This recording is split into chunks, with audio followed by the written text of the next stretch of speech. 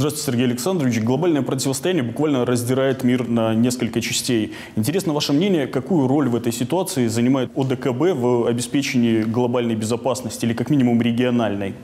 Ну, об этом, э, в том числе, мне кажется, много говорили на саммите ОДКБ, да.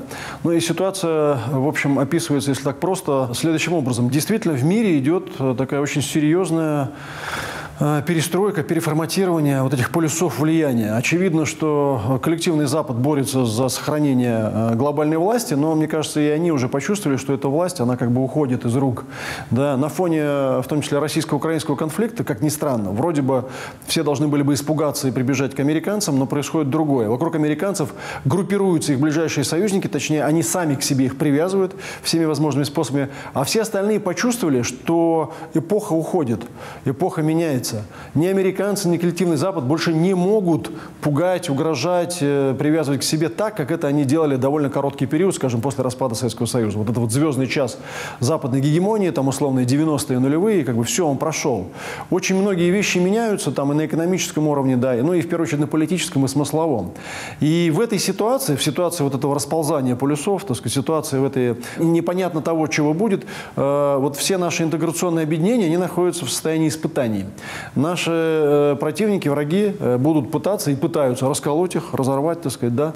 Наша цель, как и у ДКБ, пройти эти испытания и понять простую вещь, что на самом деле вот это сотрудничество, оно в этой ситуации гораздо лучше, чем попытки бегать, как бы искать что-то новое, да, кому прибиться, так сказать, куда попасть. Вот как раз вы сказали находить себя в новой концепции в какой-нибудь. Одним из углов этого ринга противостояния выступает идеологический концепт. Э, пытаются подменять понятия, в том числе заниматься историческим ревизионизмом. Необходимо ли э, в качестве ОДКБ интегрировать какие-то э, интеллектуальные структуры, аналитические центры, которые бы занимались в том числе информационной безопасностью, безопасностью нашего социокультурного пространства?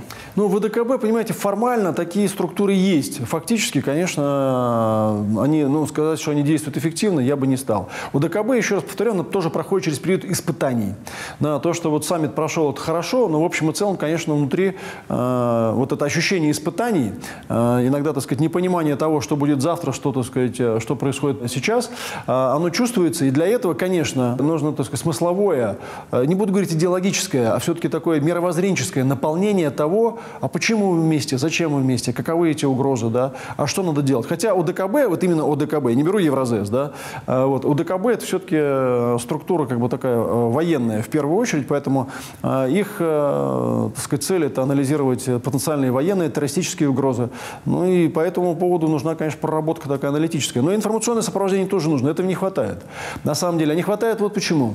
Потому что члены, так сказать, этих интеграционных объединений, да, они тоже подвержены этим влияниям, тоже как бы да, вибрируют, смотрят там по сторонам. Но вот мое глубокое убеждение в том, что э, на самом деле смыслов и мировоззренческих ценностей, которые нас объединяют, гораздо больше, и они гораздо глубже и важнее, чем те соблазны, которые пытаются предлагать нам какие-то внешние враги. Белорусский лидер заявил вот как раз на этом саммите о том, что региональные конфликты становятся одним из вызовов важнейших э, современности.